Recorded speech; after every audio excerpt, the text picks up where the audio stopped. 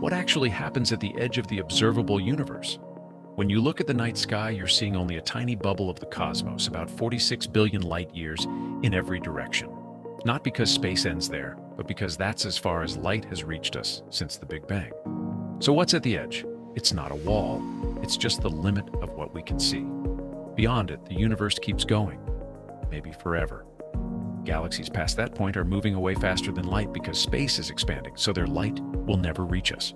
That edge is really a cosmic horizon, a cutoff where information disappears. And here's the wild part.